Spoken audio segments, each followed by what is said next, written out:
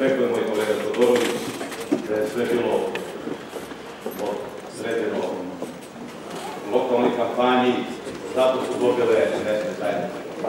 Ne treba, ne u Čirko, nego u Poljskom žanu. Drago nam je što je u Poljskom žanu došlo do sortirane sokraka.